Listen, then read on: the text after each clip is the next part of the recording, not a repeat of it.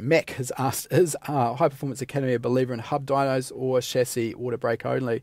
Uh, I actually, for the first 13 or 14 years of my career, owned and used a Dynapack hub dyno. It's a great tool. Uh, basically, what you need to understand with dynos is that uh, there are pros and cons with just about every type of dyno.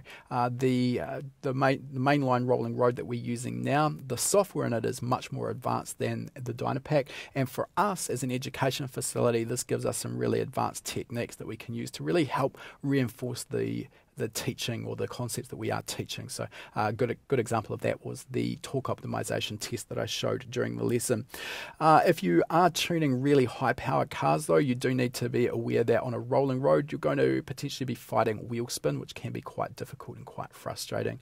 Of course, Mainline over the last few years have introduced their uh, Pro Hub series of dynos, which are now seeing uh, some of the more serious Pro Mod cars being tuned on those. Now we've seen a lot of advances in the power levels coming out of those on cars that previously could not be dyno tuned. And I think at the moment the record uh, on a mainline Pro Hub dyno is somewhere above 4,000 horsepower, just to give you some, some idea.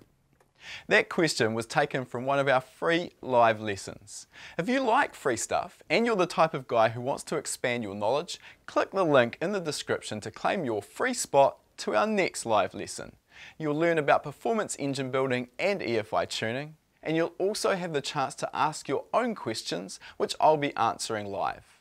Remember, it's 100% free, so follow the link to claim your spot.